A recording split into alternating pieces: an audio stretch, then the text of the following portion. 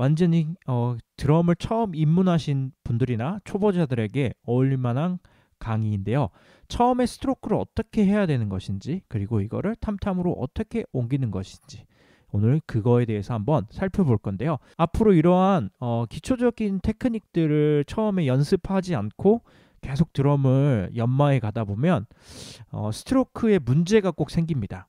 음, 소리가 고르지 않거나 아니면 소리가 일정하게 나지 않거나 간격이 무너진다거나 음, 통소리를 정확하게 어, 뚱뚱뚱 이렇게 뽑아내야 될 때 그렇게 소리가 나지 않고 되게 가벼운 소리가 난다든지 뭐 이런 다양한 문제점들이 생길 수 있기 때문에 초반에 소위 말해 각을 잘 잡아가지고 기초 테크닉을 어, 쌓아 올리면 어, 좋지 않을까라는 생각이 듭니다. 그러면 오늘 가장 기본적인 음표는 뭐 4분음표, 8분음표, 그 다음에 16분음표, 그 다음에 따따따 리듬, 딴따다 리듬 이렇게 해가지고 어, 기본적인 음표를 다루는 시간을 가져보도록 하겠습니다. 드럼을 처음 배울 때 스트로크를 그냥 너무 스틱을 꽉 잡아서 이렇게 누르지 않게 하셔야 됩니다. 그렇게 통통 튀기듯이 하는 걸 추천합니다. 이렇게 스틱도 저는 느슨하게 느슨하게 약간 잡거든요. 이렇게 느슨하게 엄지검지를 해가지고 가볍게 툭툭 던진다는 듯이 농구공 튀긴다든지 튀기는 것처럼 이런 식으로 연습하시면 좋겠습니다. 툭 던져서 다시 리바운드가 될 수 있게. 탐탐도 똑같아요? 스, 스네어랑?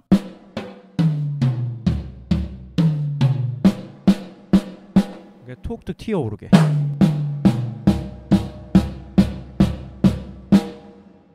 중간에 제어가 되지 않고 바로바로 바로 이렇게 올라오는 걸 추천해요.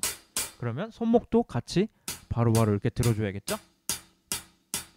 이게 드는 것만 이렇게 잘해도 소리가 굉장히 내추럴하고 어 약간 소리가 통소리를 잘 뽑아낼 수 있습니다.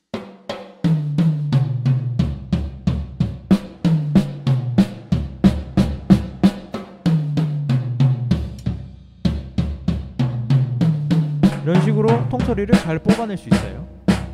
이거를 눌러버리면 되게 딱딱한 소리가 나요. 그리고 나중에 이렇게 스트로크 연음을 연결시킬 때 자연스럽지도 않고요. 그러니까 리바운드를 시키는 연습을 처음에 꼭 하셨으면 좋겠습니다. 올려주세요 이렇게 손목, 손목을 올려주는 거.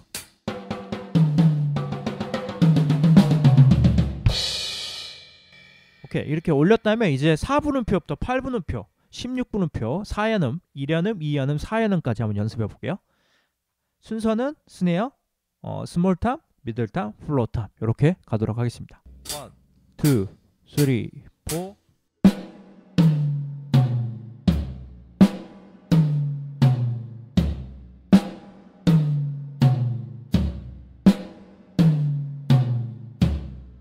손목을 다 드는 게 보이시죠? 이렇게 연습하시면 되겠습니다. 그럼 2연음 8분 음표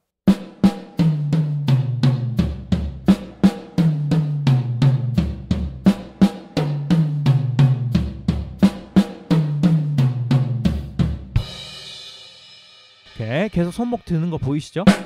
이렇게 빨리빨리 들어야 돼요. 그 16분음표 따따따따.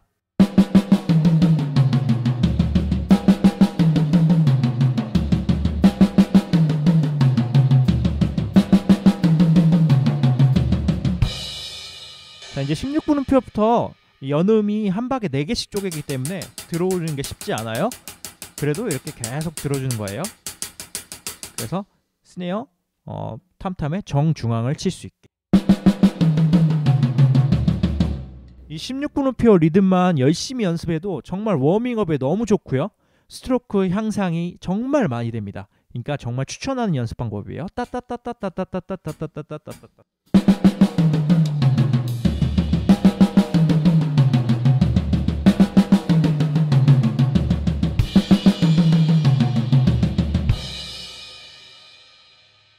자, 그 다음에 따따따리 똑같습니다. 들어주면 돼요.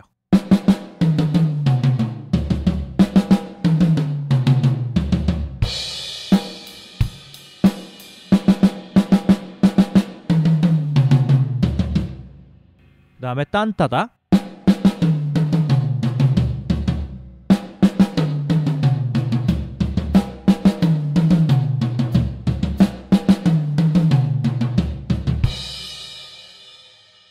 오케이.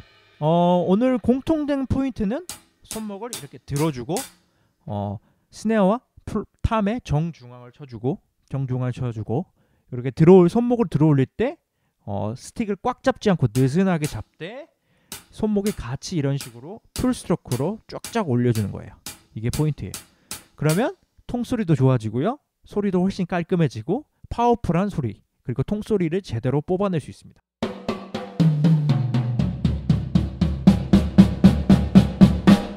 이런 느낌이 딴딴딴딴 나오려면 스틱을 이렇게 높이 들어야 돼요.